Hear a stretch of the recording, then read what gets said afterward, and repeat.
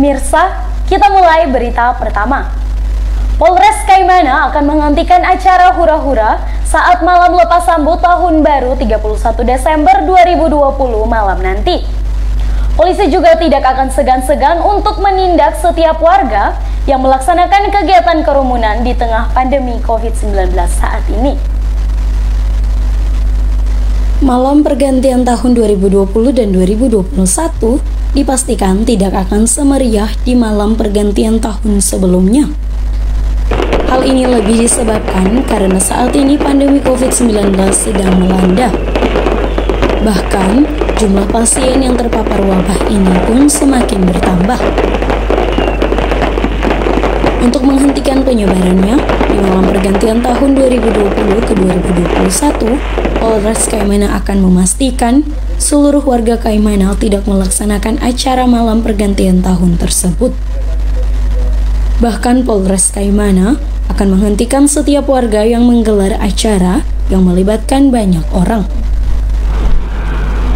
Kepada saudara-saudara sekalian, di mana pun Anda berada di Kaimana, pada saat ini kami Polres Kaimana sesuai dengan perintah Kapolres Kaimana untuk melaksanakan kegiatan pengamanan dalam rangka pelepasan tahun lama dan menyambut tahun baru tahun 2021. Oleh sebab itu terkait dengan maklumat Kapolri dalam hal ini kami Polres Kaimana menghimbau dan menyampaikan kepada seluruh lapisan masyarakat untuk dalam malam penyambutan tahun baru tahun 2021 sekali lagi kami mohon kepada seluruh warga masyarakat untuk tidak melaksanakan kumpul-kumpul dalam rangka penyambutan tahun baru.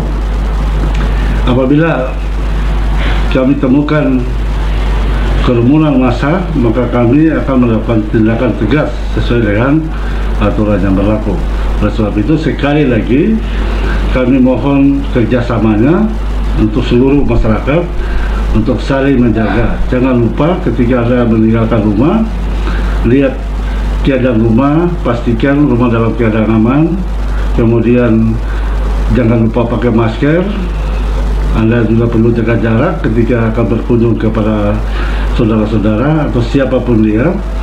Kemudian sekali lagi yang terakhir bagi kami untuk maklumat Kapolres maklumat Kapolri dalam hal ini kami akan tegas, melakukan tindakan tegas kepada setiap perkumpulan massa oleh sebab itu sekali lagi kami mohon dan kami mohon berulang-ulang ini untuk pastikan untuk memutus tali rantai COVID-19 karena bukan kami pihak yang mana tetapi kita semua bertanggung jawab untuk menyambut tahun yang baru. Mudah-mudahan kita dalam penyambutan tahun baru kita semua dalam keadaan selamat, selalu mendapat rezeki, umur panjang untuk Bapak Ibu, saudara-saudara sekalian.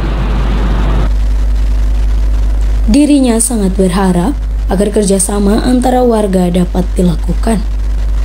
Kompol Sawaki pun berharap Pelaksanaan malam pergantian tahun sebaiknya dilaksanakan secara sederhana di rumah masing-masing dengan tetap tidak menghadirkan banyak orang. Untuk mengantisipasi agar warga tidak melaksanakan kegiatan berkerumun di malam pergantian tahun, dipastikan Kamis 31 Desember 2020 besok akan dilaksanakan gelar pasukan dan dilanjutkan dengan penyampaian himbauan kepada seluruh warga Kaimana melalui Satuan Bimas Polres Kaimana. Polisi pun setidaknya akan menurunkan pasukan sebanyak 240 personil untuk mengamankan jalannya pergantian tahun. Penyebaran COVID-19 di Kaimana menjadi tanggung jawab kita bersama. Mari kita jadikan Kaimana sehat, Kaimana aman dan nyaman dalam memasuki tahun 2021 ini dan menjadikannya sebagai awal yang baik untuk berkarya demi Kaimana yang lebih baik. Dari Kaimana, Papua Barat, Tim Liputan Kabar Triton mengabarkan.